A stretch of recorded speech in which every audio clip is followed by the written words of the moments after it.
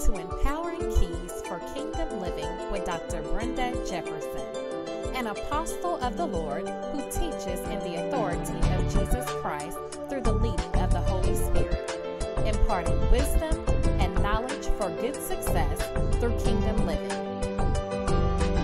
Brought to you in part by Apostle Brenda Jefferson Ministries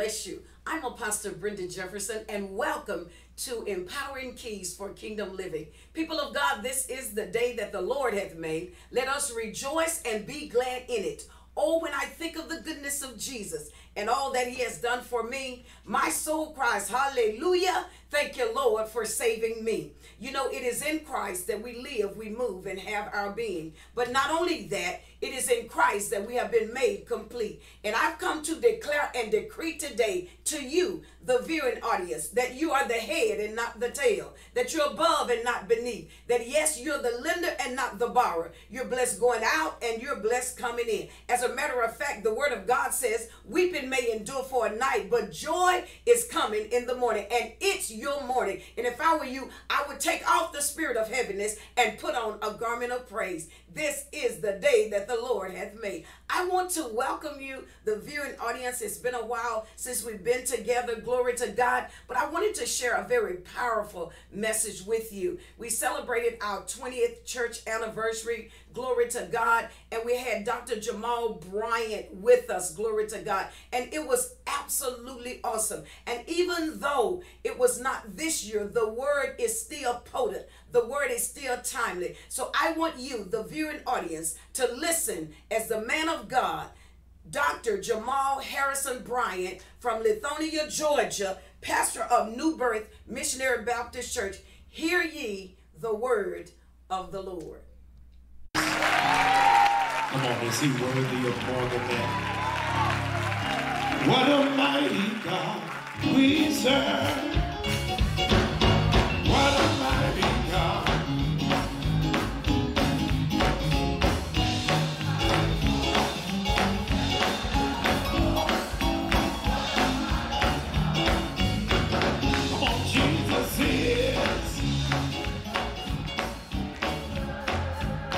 Jesus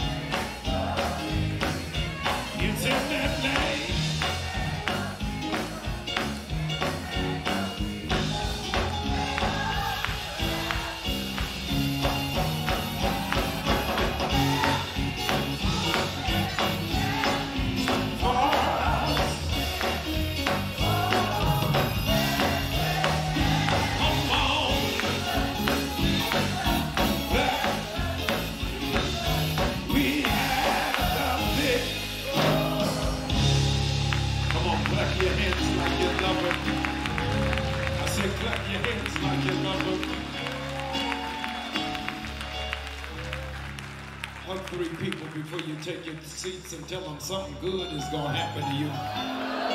Something good is going to happen to you. Something good.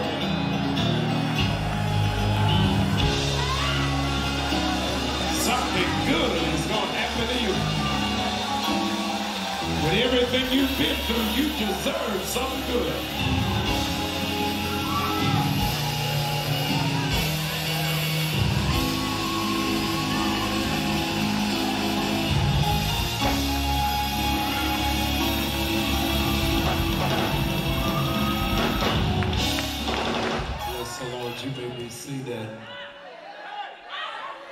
Joy when I think about what he's done for me. Didn't have to let me live, but he did. For that I give him glory. Uh, allow me a point of personal privilege just to uh, tell you how honored I am uh, and amazed uh, at the humility and the grace uh, that exudes out of your mayor.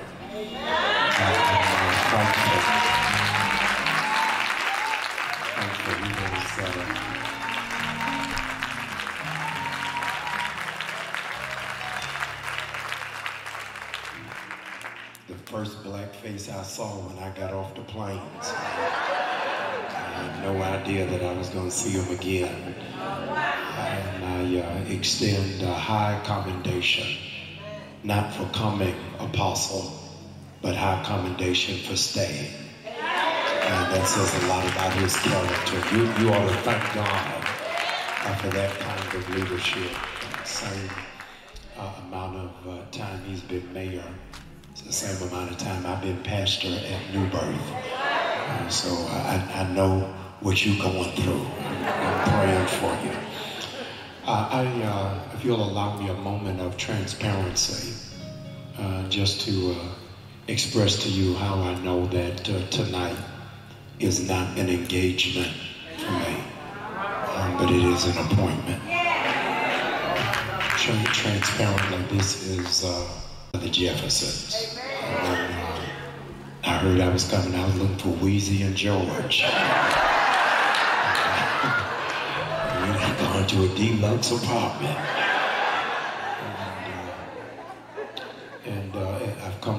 Place, um, Bishop Robinson, where integrity matters. And uh, your character has got to be stronger than your charisma. Um, say that to say uh, your apostle invited me many months ago to come. And uh, I'm, in between mayor changes of administration, uh, changes of my team. And uh, when uh, I accepted to come, I was not where I am now. And uh, that this woman of God uh, really has a prayer life. I'm telling you, she's got a prayer life. And you don't even understand why. Is uh, I am in the middle of my own conference at my church right now. Uh, it was uh, somewhere around three to 4,000 people in my sanctuary. And I am in Little Rock, Arkansas.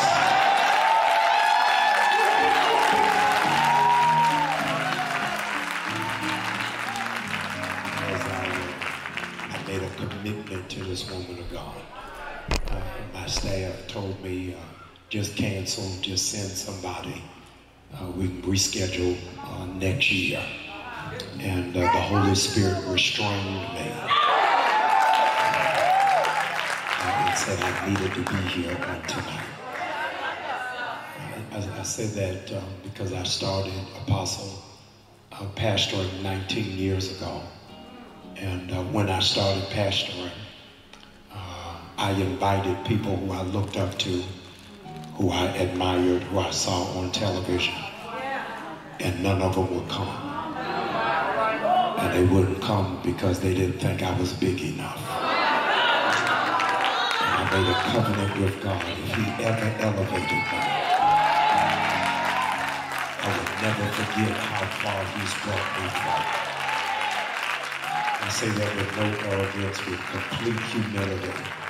But a whole lot of people who get anointed get amnesia. No one's saying nothing to me. Some- Sometimes you gotta be mindful of the grace of God. Because the reality is, I don't know how you feel about it, the reality is the best singers never get a record contract. The best actors are never seen on television. And the best preachers never have a mega church. So whenever God blesses you, it's not because he's so good, because you're so good, but because he's so good. Come on, I can't hear nobody. I, I need you to do me a favor, please. I want you, for this apostle, for this pastor, I want you to stand and cheer for them like they are Bishop T.D. Jakes.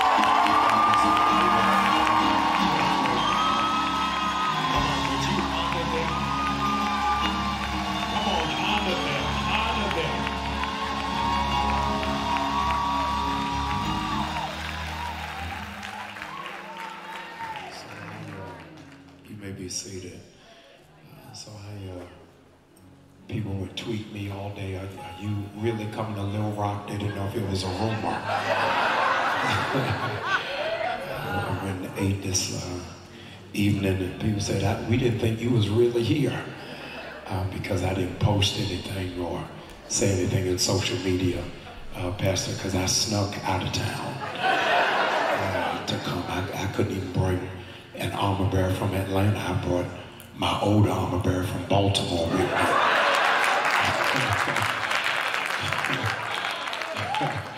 Y'all think I'm joking. I, am leaving on the midnight train to Georgia. I back, but uh, I, said all that to say I honor uh, the oil that is on your life and just grateful uh, for who you are as a woman of God. Just one more again, give God some praise for her.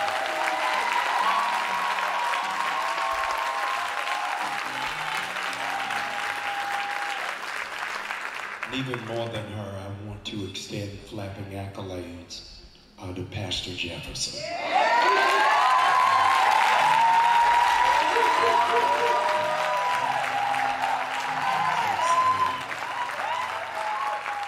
Takes a secure man to be with an anointed woman of God. And I just thank God that he's man enough to handle the woman of God that she is. Come on, I need y'all to help me salute this man. Come on, help me give God glory for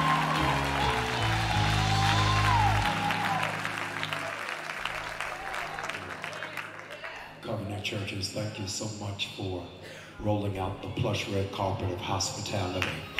Uh, for me, you, you make me feel a five star and you've done everything in the spirit of excellence. Uh, and I'm grateful. I uh, came outside of the airport, a limo pulled up. I didn't know if I was going to a funeral or a wedding. I, I, was grateful uh, for the hospitality. Bishop Robinson, longtime friend, thank you so very much uh, for coming. Give God a hand clap of praise. Bishop Robinson converted me a year ago, uh, not to Jesus. I already knew him, uh, but I'm, I'm an innocent, I'm a ghetto preacher. And uh, I, have been against quartets my whole life. I, I just didn't understand them.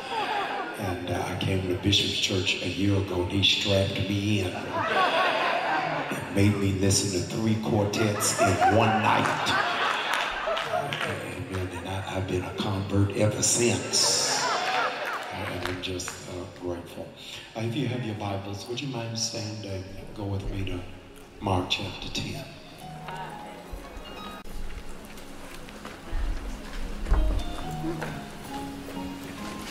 Mark chapter 10, I want to begin at verse number 18.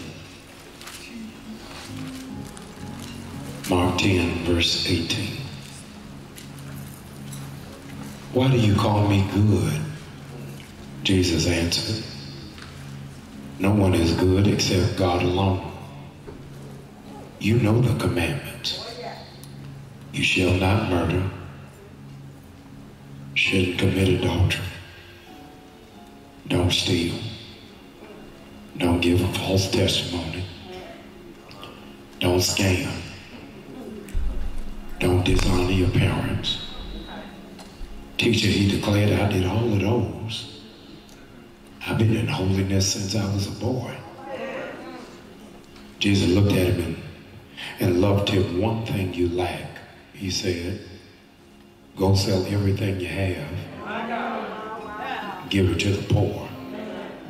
And if you have treasure in heaven, then come follow me.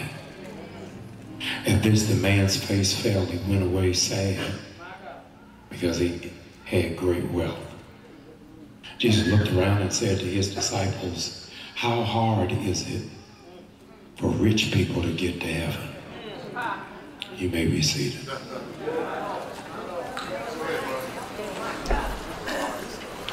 I want to preach for a little while on this, the uh, 20th anniversary. I, I want to preach using as a subject, Don't Switch Up on Me. Don't switch up on me. Would you look at the person beside you and tell them, after all the stuff I've had to deal with, look at me now and say, in this season of my life, I can't take it. Please don't switch up.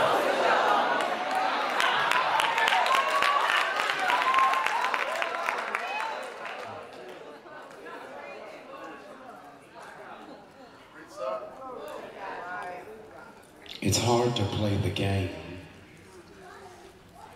with the rules always change. Equality can't happen if the starting line is not the same for everybody. In the insightful book, The Coddling of the American Mind, how good intentions and bad ideas are setting up a generation for failure.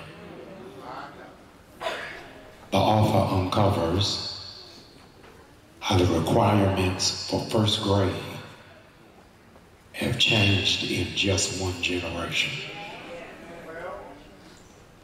Prior to 1988, in order for you to enroll your child in first grade in Little Rock, Number one, the child had to be at least six years old, six months. Number two, in Little Rock, in order for them to get in the first grade, before 1988, they had to have two to five permanent teeth. Before 1988, in Little Rock, to get in the first grade, they had to be able to speak and enunciate with such clarity that a police officer or a crossing guard could understand their speech. Number four, they had to be able to draw in colored lines. Number five, they had to be able to tell their left hand from their right hand. Number six, they had to be able to be away from their parents without having a temper tantrum. Number seven, they had to be able to repeat eight to ten word sentences. Number eight, they had to be able to count ten pennies correctly. Number nine, they had to be able to copy down letters and numbers. All of that apostle was before 1988. Now something has shifted. That by first grade, your child, your grandchildren have to, by the first grade, have to be able to count by tens. They have to be able to read books with five to ten words per page. By first grade, they are expected to know their numbers from 1 to 100. By first grade now in Little Rock, they got to be able to form complete sentences on paper using phonetic spelling. Now, in order for them to get in the first grade, they have to be able to complete sentences on their own. And days gone by for the majority of those of us who are in the room, kindergarten consisted mostly of social interaction and hands-on ex exploration, sprinkled with finger painting, music with a triangle, the Indian style without pulling your neighbor's hair able to recite the alphabet, alphabets even if it was in rhythmic syncopation. But today, by first grade, it is mostly sedentary and structured with more time at their desk. These methods are effective for older children, but for younger adults, these methods can backfire and produce negative effects on social and emotional development. To that end, based off of today's structure, Many of us, if we were governed by that then, would today be on prescriptions of Prozac, be on Ritalin, and be on placed on special education. Because it is outside of our physiological structure to be able to sit still for six hours and only raise your hand to go to the bathroom. There's an obvious connection here with the surge of prepubescent suicide. And now you got nine-year-olds who are depressed, 11-year-olds who have anxiety, 12-year-olds who are cutting themselves, and 13-year-olds who think they're lesbians. All because they have been placed in an environment that is not natural to who it is that they are. So at six, we're raising them to do work, but have no play and don't understand why they're dysfunctional. The same thing can be said why it is that we have lost an entire generation of millennials who no longer come to church. Because we want them to sit still for five hour services. We want them to, in fact, memorize the scripture. We force them to fake speaking in tongues without them having a legitimate relationship. So their first semester in college, they won't even come back to the church that gave them the scholarship in the first place because they resent where it is that they were made to sin. because we taught them religion but never gave them relationship. So now you have a generation that does not know about deliverance. They only know discretion. So I am saved as long as I don't get caught. And then when the sheets are pulled after me, I want to cry and snot at the altar because I treat God as an emergency box. So I only start to pray when my period is late. I only begin to fast when my business is on Facebook. I only begin to cry out unto God when I got no money to go back to school next semester. Because we have made God a cosmic sugar daddy that is only supposed to show up when we need him. So we only use him as an ATM, hoping that when I shout, I can get something material out of it. But I don't worship because I just want him. For the last 25 years, we have, in fact, corrupted a generation to think that your relationship with God is completely predicated on praise. So they only know how to shout, but they don't know how to pray. And so God is calling for a generation not of shouters, but of intercessors who understand early in the morning will I seek him. I know some of y'all don't like this. See, the problem, intercessors don't need reserved seats. Intercessors don't come with armor bearers. Intercessors don't have reserved parking spaces. Y'all ain't saying nothing. Intercessors ain't just to show up at your little meet just to sit there. Uh, but they know if there's a real crisis, put me in, coach. I, I know how to pull down strongholds. I, I know how to cut demons off at the head. I know how to make a paycheck stretch even when I don't have the resources to get it in. But the rules have changed. The, the criminal justice system seems to be a con game when it comes to people of color. I'm still aghast at the three ring circus that took place in Dallas, Texas, in the case of both Botham Jean, the innocent brother, hear this apostle, who was a praise and worship leader. He was gunned down senselessly by a white police officer named Amber Guyger and was only sentenced to 10 years in prison.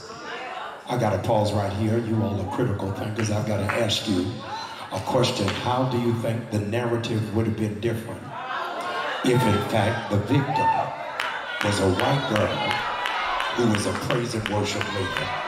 Y'all ain't saying nothing. And the officer was a black man. Here's your shout, who broke into her apartment. Now, had he just got 10 years, all the evangelicals would have been on TBN and Daystar and the Word Network talking about the impropriety of America.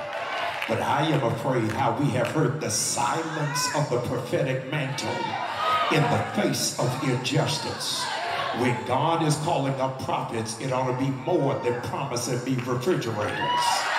It's got to be more. Y'all ain't saying nothing than BMWs and 10,000 square foot homes. But God is looking for authentic prophetic voices who are able to cry loud and spare not. If my people who are called by my name will humble themselves and seek my face, here it is, and turn from their wicked ways, then I will hear from heaven. What happens? This police officer, Amber Guyger, only gets 10 years. When Tanya McDowell got five years, for registering her daughters in the wrong school district. When Marissa Alexander got a dozen years for issuing out a warning shot against her abusive husband, and a bullet never penetrated his flesh. The U.S. Sentencing Commission, in their most recent report, says that black men are 19% more likely to get higher sentences than their Caucasian counterparts. Lee Merritt, the attorney of Botham, said in an interview after the proceedings, he didn't understand the brother, hear this, who went and hugged the young lady who killed his brother. He says, I'm a Christian and I believe in the power of forgiveness. But Lee Merritt, the attorney for Botham, says, How do you forget forgive somebody who's still lying? Now, y'all ain't saying nothing that the forensic evidence has come in uh, that Botham was not standing, did not approach her, but based off of the trajectory of the bullet was sitting down and had his hands up. I got to pause here and see so many times uh, there are some people in Little Rock who got a grace pass, who you forgave, y'all ain't gonna like it, who you should have checked by the teaching of Apostle Brenda Jefferson. If you would like this message in its entirety, please call 501 813 4634 or 501 834 5477. Until the next time, may God bless you and keep you, is our prayer.